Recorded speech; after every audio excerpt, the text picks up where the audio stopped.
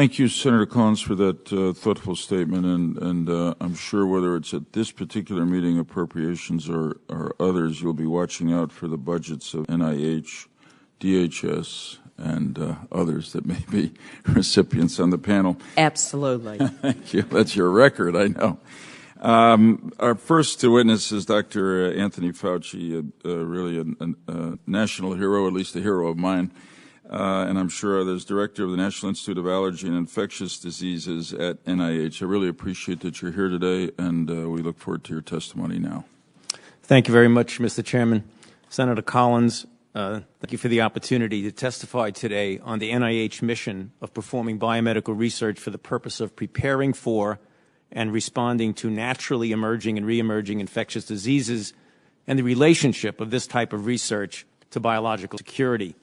As you mentioned in your statement, the issue at hand is the ongoing threat of the emergence of an H5N1 pandemic influenza and the research that was supported by the NIH to address this threat. The conduct and publication of the results of such research in the form of the two manuscripts that you mentioned has focused considerable public attention on the issue of dual use research namely research that is directed at providing new information critical to the public health, but at the same time has the potential for male malevolent applications. My written testimony is submitted for the record, and in my few minutes of time, I will highlight just a few important aspects of this issue. First, the public health challenge. Seasonal influenza is an ongoing threat to public health worldwide and is among the leading global causes of death due to infectious diseases. Each year, influenza causes more than 200,000 hospitalizations and up to 49,000 deaths in the United States and up to a half a million deaths globally. Yet influenza has animal reservoirs, especially in birds, and these viruses can undergo extensive genetic changes and jump species, resulting in an influenza virus to which humans are highly vulnerable. Such an event can, and historically has, led to global disasters, such as the one you mentioned, the prime example being the 1918 global influenza pandemic that killed up to 100 million people worldwide and caused enormous social and economic disruption. There is a clear and present danger that we will have another pandemic, since these viruses continue to circulate in the world and are constantly evolving towards pandemic capability as we have seen in 1957, 68, and 2009. Over the last decade, a highly pathogenic H5N1 influenza has emerged among chickens. Rarely, the virus spreads to humans. Since 2003, approximately 600 confirmed cases have occurred in humans in more than a dozen countries shown in red on this poster. Nearly 60% of those reported cases have resulted in death should the virus mutate to transmit more efficiently to and among people, a widespread influenza pandemic could ensue. Indeed, nature itself is the most dangerous bioterrorist. And even as we meet today, H5N1 and other influenza viruses are naturally mutating and changing with the potential of a catastrophic pandemic. This is not a theoretical danger. It is a real danger. For decades, NIH has supported basic influenza research included on transmissibility, host adaptation, and virulence.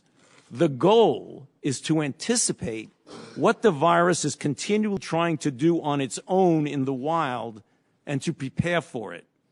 Such goals were pursued by the NIH-funded scientists Kawaoka and Fouchier and could have important positive implications for pandemic influenza prediction prevention, diagnosis, and treatment. Kawaoka and Fouchier constructed variants of H5N1 avian influenza in order to identify which genetic mutations might alter the transmissibility of the virus. In their studies, they employed a standard influenza animal model, namely the ferret.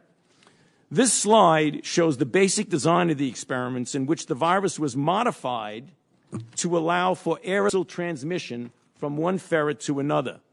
I might point out that one of the causes of the public misunderstanding was the widespread belief that the virus that was transmitted by aerosol from one ferret to another actually killed the ferrets. when in fact that was not the case. We feel that these studies provide critical information, and it was important to determine if H5N1 virus that has this enhanced transmissibility would remain sensitive to existing anti-influenza drugs and vaccines. In addition, and importantly, knowledge of the genetic mutations that facilitate transmission may be critical for global surveillance of emerging influenza viruses. Yet, since transmissibility of a virulence virus was increased, this constitutes dual use research of concern, or DURC, which is shown on this poster. If a particular research experiment is identified as DURC, that designation does not necessarily mean that such research should not be published, nor that it should even be prohibited in the first place. However, it does call for us, as you mentioned, to balance carefully the benefit of the research to the public health, the biosafety and biosecurity conditions under which the research is conducted, and the potential risk that the knowledge gained from such research might fall into the hands of those with ill intent. In this regard, the National Science Advisory Board for Biosecurity, or NSABB, was asked to advise the United States government on the publication of these manuscripts. You will hear in detail from Dr. Keim, the chair of that group, about the board's deliberations. Importantly, the public attention and concern generated by this issue has triggered a voluntary moratorium or pause on this type of research on the part of the influenza research community, as well as a fresh look at how the U.S. government handles DURC as manifested by a formalization of a government-wide policy to address the issue. This policy, which was released on March 29th, strengthens and formalizes ongoing efforts in DURC oversight and is described in my written testimony. The ultimate goal of the NIH in its embrace of this new policy is to ensure that the conduct and communication of research in this area remain transparent and open at the same time as the risk benefit ratio of such research clearly tips towards benefiting society. The public, which has a stake in the risks as well as in the benefits of such research, deserves a rational and transparent explanation of how these decisions are made. The upcoming dialogue related to this policy certainly will be informative and hopefully productive in its goal of benefiting the public with the fruits of such research while ameliorating the associated risks. Thank you. Uh, thanks very much, uh, Dr. Fauci. That was an excellent introduction uh, to uh, the topic, and I look forward to uh, asking you, uh, you, some questions.